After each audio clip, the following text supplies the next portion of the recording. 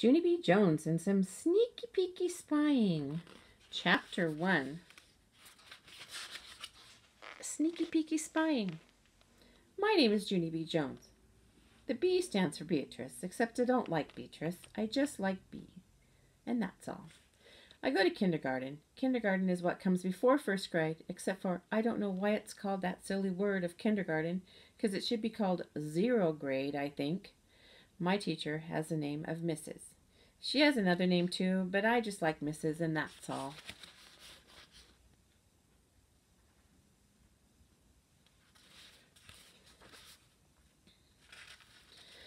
Mrs. has short brown hair and long skirts of wool, and she smiles a real lot, except for sometimes when I'm noisy she claps her loud hands at me.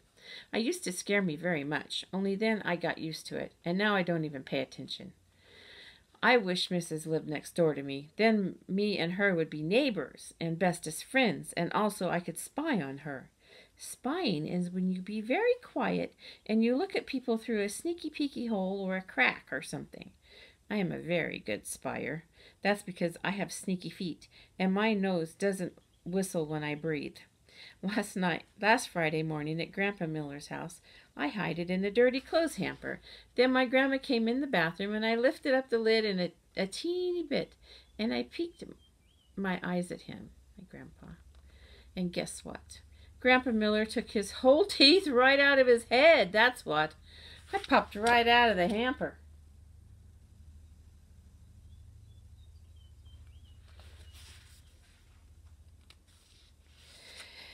Hey, Grandpa, how did you do that crazy thing? I hollered. Then my grandpa screamed very loud, and he runned out of the bathroom speedy quick. Grandpa Miller has high blood pressure, I think. Very soon, Mother hurried into the bathroom with angry feet. That's it, she yelled. No more spying. This is the last time I'm telling you. Do you hear me, Missy? Do you? Yes, I said, 'cause you're hollering right in my ear, that's why. Then Mother took me home, except for she kept staying mad at me. Find something quiet to do, she said, kind of growly. Your baby brother has to take his morning nap. So then I thought and thought, and about what to do, and a very great idea popped into my head. First, I took off my loud shoes, then I tippy-toed into baby Ollie's room in just my sock feet, and I spied on him through the bars in his crib.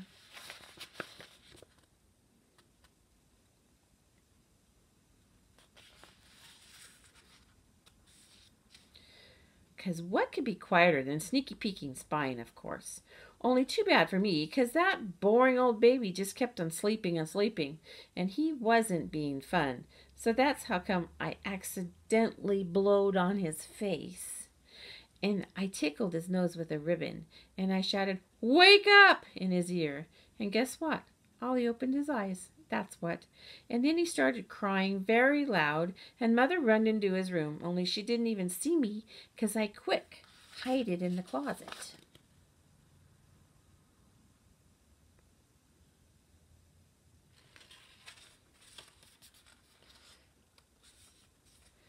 I smiled to just myself. I'm the bestest spyer in the whole wide world, I said inside my head. That's how come when I rode the bus to school that day, I did a little bit of bragging. I'm the best spyer in the whole world, I said to my best friend named Grace. Then I took off my shoes and I showed her my sneaky sock feet. See, I said, see how quiet they are? You can hardly even hear those guys.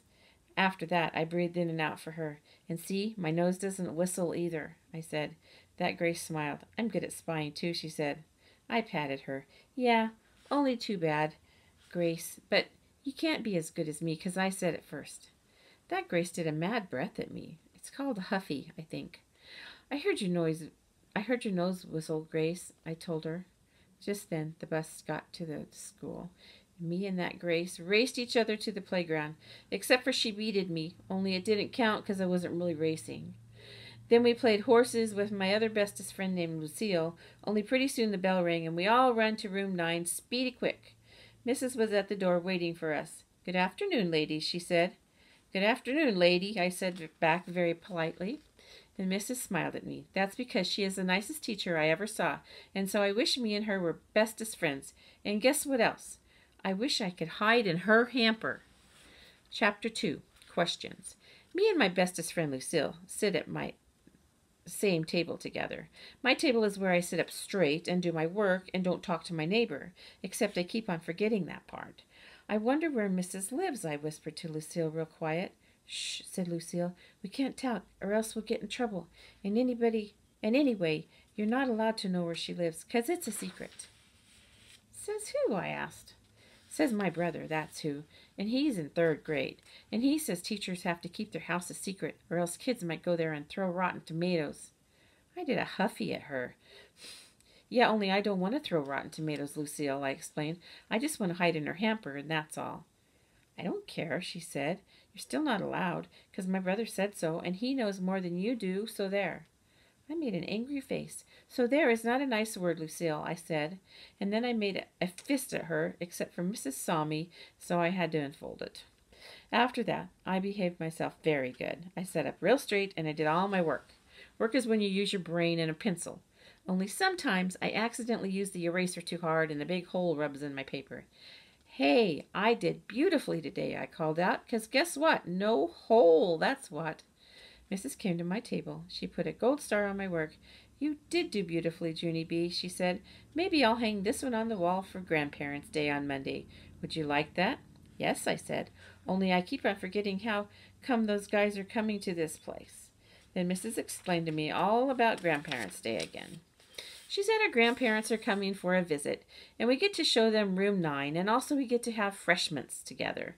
Mrs. said freshments are cookies and be- a beverage. I raised my head. Yeah, only I don't think I'm allowed to have the kind of drink named a beverage. Because I'm only allowed to have milk and juice, and that's all. Mrs. looked up at the ceiling with her eyes. Then I looked up there, too, but I didn't see anything. How many of you think you can bring cookies on Monday? I asked Mrs. I can, I can, I hollered, very excited, because my mother is the bestest cookie baker in the whole world. That's why, except for one time she accidentally forgot they were in the oven and the fireman had to come to our house. Mrs. laughed, only I don't know why, because that was not a funny story. After that, she gave me a note for mother. It was some writing about baking cookies, I think. If your mother has any questions, please tell her to call me, said Mrs. Just then I got a very great idea. Hey, I said, maybe me and mother can bring the cookies to your house, and so then I can see where you live. Mrs. rumpled my hair. You don't have to come to my house, Junie B. Just bring the cookies to school on Monday morning. I smiled very sweet. Yeah, only I still want to see where you live, I said. Then Mrs. turned around and she walked back to her desk. That's how come I had to follow her. Do you have the rich kind of house or the regular kind of house? I asked her, because I have the regular kind of house.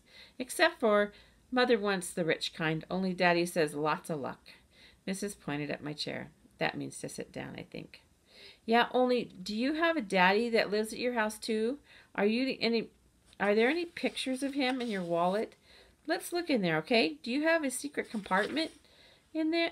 Cuz my grandpa Miller has one of those things with 50 bucks in it. Only don't tell grandma.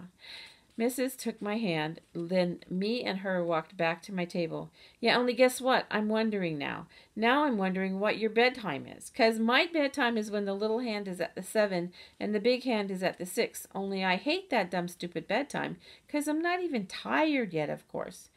Mrs. put her finger up to her lips. That's enough, Junie B, she said. I mean it. I want you to settle down now. Then she went right back to the front of the room and she didn't answer any of my questions. Because guess what? Why? Mrs. is a secret mystery guy. That's why. A secret mystery guy.